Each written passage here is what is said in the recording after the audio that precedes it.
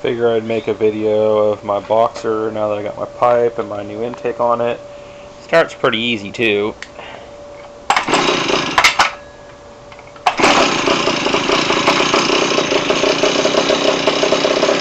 That was a cold start too.